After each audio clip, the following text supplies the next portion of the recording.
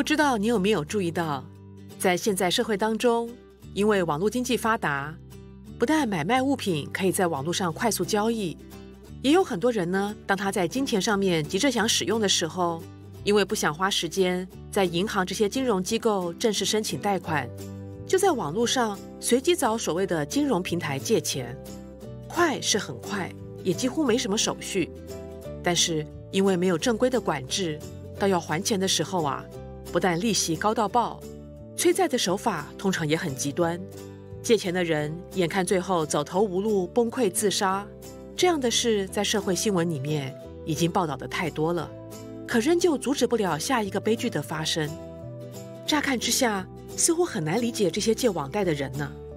我也听过有人批评他们活该，明知道这么高的利息，明知道还不起，为什么还不计后果的往里面跳呢？只是我觉得这好像也没碰到问题的重点呢。我倒是想起在学校念书的时候，老师就曾经提到，在人的行动判断里面有一个叫做稀缺性原则。怎么说呢？就是当人自觉的某项资源既稀少又缺乏的时候，比方说金钱吧，不论这个缺乏是不是事实，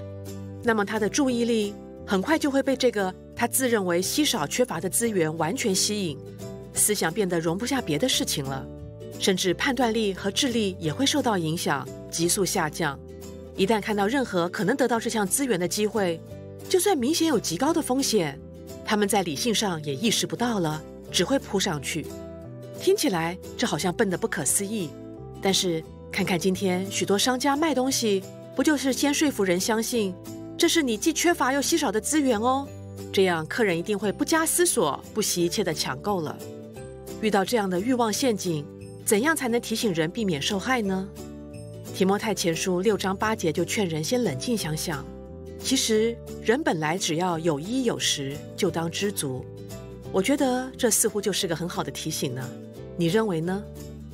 我是您的主持人张静，很高兴您收听《爱说两分钟》，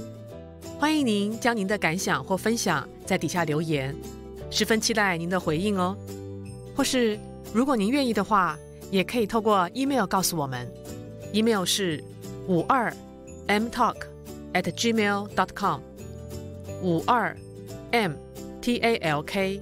at gmail dot com，谢谢您，愿神赐福您。